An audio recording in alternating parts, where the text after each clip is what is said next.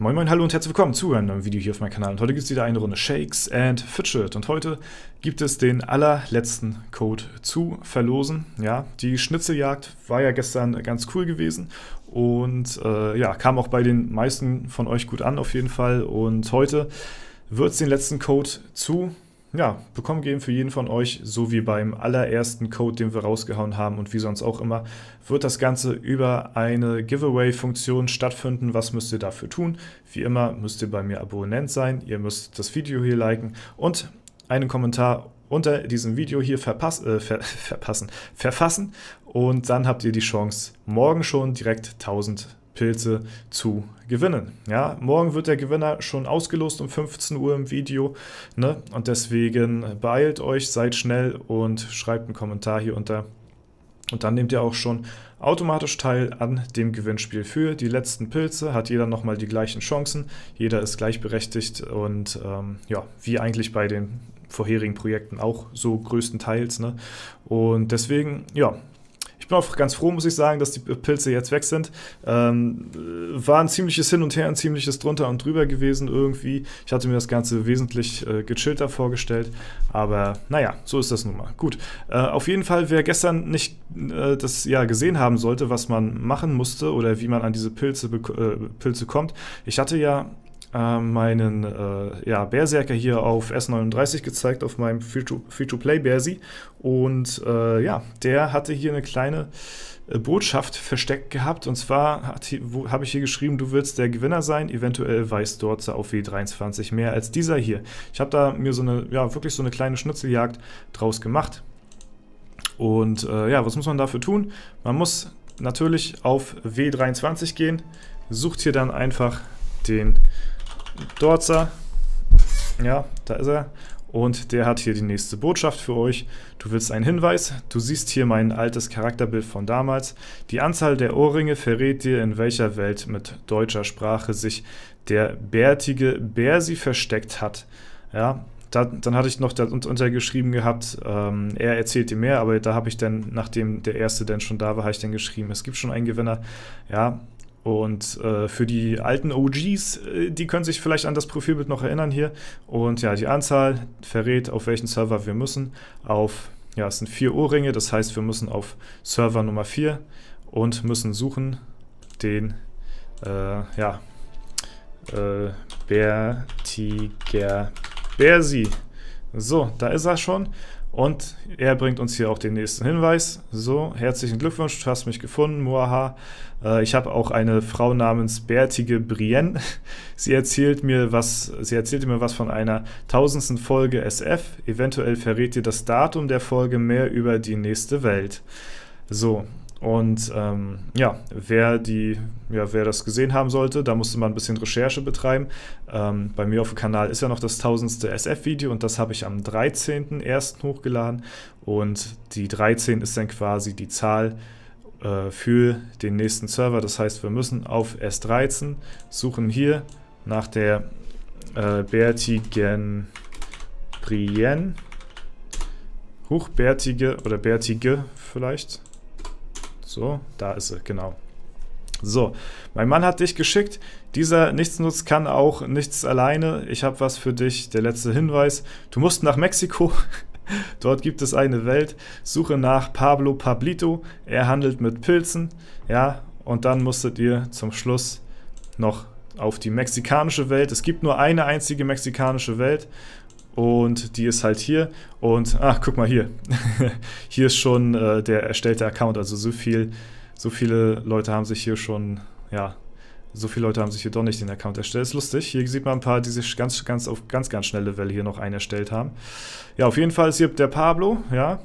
Und der schrei äh, schreibt hier, Hola, como estás, mein Freund? Ja, ich habe hier was für dich.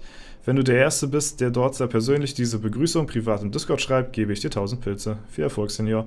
So, und den ersten habe ich dann auch ausgelost gehabt und, äh, oder besser gesagt, die 1000 Pilze zukommen lassen. Und ja, das war quasi so die kleine, aber feine Schnitzeljagd gewesen. Ich fand es recht amüsant auf jeden Fall. und ähm, ja, ist auf, ist, denke ich mal, ein bisschen mal was anderes als äh, so stumpf die, die Codes in den Videos rauszuhauen. Ähm, ja, ich wollte sowas eh schon mal machen, aber ich hatte immer gedacht, man muss sich irgendwie die Accounts irgendwie immer erst so verifizieren und da hätte ich keinen Bock gehabt drauf irgendwie. Ähm, deswegen habe ich das dann sein lassen, aber man musste die gar nicht verifizieren, um die auch schon finden zu können. Ja, wieder was dazugelernt. Ähm, also das andere, die auch schon finden können auf dem Server.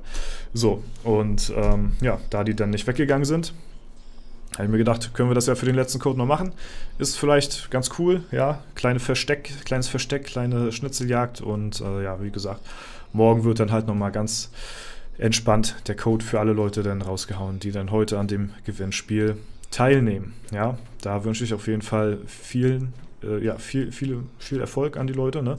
und äh, viel Glück vor allen Dingen, gehört ja auch einiges dazu. Und äh, ja, Dankeschön nochmal an Playa, die mir das ermöglicht haben, hier zur tausendsten Folge als Special 10 mal 1000 Pilze rauszuhauen. Und das ist natürlich ganz cool. Und ich hatte auch gemerkt gehabt, ähm, weil ein paar, ich glaube, einer hatte irgendwie in den Kommentaren geschrieben, dass äh, ja, der Code, dass irgendwie nur ein Code pro Account oder so irgendwie möglich ist. Ne? Also ähm, von wegen, dass man äh, mehr, mehrmals gewinnen kann. Ähm, das stimmte schon irgendwie, aber wahrscheinlich hat man die dann eben auf, ja, kann man die eben nicht auf einen Account halt eben einlösen. So, das wusste ich jetzt nicht genau, wie das Ganze funktioniert da so. Ne? Da habe ich jetzt auch nicht so den, den Einblick oder habe ich jetzt auch nicht nachgefragt, ob die jetzt, ja, keine Ahnung, ob einer da jetzt mehrfach eingelöst werden kann oder so.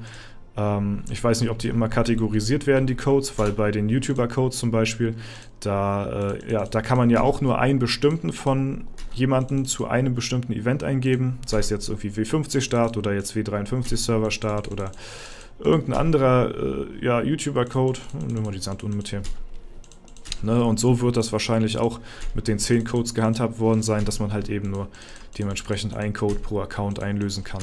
Ja, stelle ich mir das einfach mal vor. Ob es so ist, das kann ich euch nicht ganz hundertprozentig verraten. Ja, am Sonntag ähm, kommt auch noch ein sehr cooles Video. Ich hatte ja auch davon gesprochen gehabt, dass es äh, neue Projekte bald auf YouTube hier geben wird und ähm, oder ein neues Projekt, sag ich mal. Vielleicht auch noch, ja, weiß ich nicht, ich will mich nicht festlegen. Kann auch immer spontan irgendwas anderes sein, so, ne? Aber ein bisschen halt mal was anderes abseits von Shakes und Fidget. Und ähm, ja, da kommt Sonntag das erste Video dazu online. Ich freue mich da schon sehr drauf. Ich bin da äh, sehr voller Vorfreude und, und gespannt, wie ihr das Ganze findet. Vielleicht habt ihr da auch ein bisschen Interesse für das Ganze.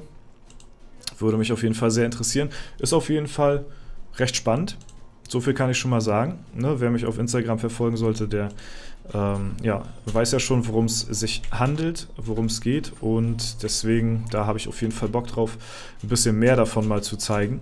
Ähm, genau, deswegen, ja, bin ich umso mehr gespannt, wie es auch äh, dann bei euch ankommt. Ne?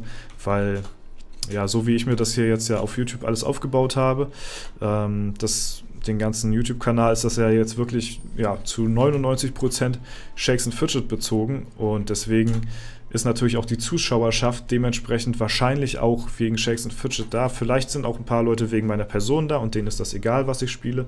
Das gibt es natürlich auch, dafür bin ich natürlich auch sehr dankbar so, ne? Aber ähm, ja, viele haben mich halt eben über Shakes and Fidget kennengelernt und entdeckt und ähm, ja, ich denke mal aber nach 1000 Folgen Shakes and Fidget spricht äh, nichts dagegen, wenn man versucht, seinen äh, Content, den man hier abliefert auf YouTube, auch ein bisschen ähm, ja, auszu auszuweiten und so. Ne? Immer mal hin und wieder. Und ja, weil in SF selbst gibt es halt jetzt nicht mehr allzu viel zu berichten, nicht allzu viel zu sehen. Äh, wenn es mal Events geben sollte, klar, dann äh, hat man natürlich immer sehr, sehr viel daraus zu ziehen und dann ziehe ich ja auch immer, versuche auch immer das Maximale da dann rauszuholen äh, aus der ganzen Angelegenheit. Ne? Ähm, aber es ist halt auch für mich persönlich, muss ich auch sagen, ein bisschen erfrischend, mal wieder ein bisschen was anderes zu machen, außerhalb von SF-Videos. Ähm, ja, in letzter Zeit bin ich auch übelst auf äh, Hearthstone äh, hängen geblieben. Ja, also äh, das hatte ich äh, damals 2014 hatte ich das schon gezockt gehabt und ich glaube 2015 habe ich dann nachher irgendwann aufgehört. Ich hab, hatte, glaube ich, ein Jahr oder so, hatte ich komplett durchgezogen, vielleicht auch anderthalb oder zwei noch dann nachher so halbwegs, aber ein Jahr auf jeden Fall richtig heftig reingegrindet da. Und ähm, ja, da bin ich jetzt momentan auch privat wieder ein bisschen mehr am Spielen. Vielleicht kann man das auch mal im Stream oder sowas bringen. Uh, YouTube-Videos stelle ich mir dazu nicht vor, muss ich sagen, aber im Stream und so mal, äh, wenn man soweit fertig ist mit Shakes and Fidget, dann äh, so eine Runde Hearthstone hinten dran. Ähm, da sehe ich mich auf jeden Fall auch drin. Ist äh, auch wieder sehr erfrischend mal ein bisschen was anderes zu zocken. So, ne? Wenn natürlich die Zeit da ist. Das ist immer so das Ding. Das ist immer das, das was, äh, ja, was äh, mir am meisten Kopfschmerzen bereitet. Die Zeit, die man halt eben dafür aufbringen muss oder die halt meistens eben nicht da ist, um halt eben das auszuführen. So, ne? Guti, ähm, ja, bevor ich hier weitermache, viel gibt es nicht mehr zu erzählen. Wie gesagt, ich wünsche euch viel Spaß und viel Erfolg beim Gewinnspiel. Morgen um 15 Uhr wird der Gewinner schon bekannt gegeben, deswegen postet auf jeden Fall schön fleißig eure Kommentare rein. Ansonsten wünsche ich euch noch einen super schönen Tag. Vielen lieben Dank fürs Zuschauen. Haut rein und bis zum nächsten Mal.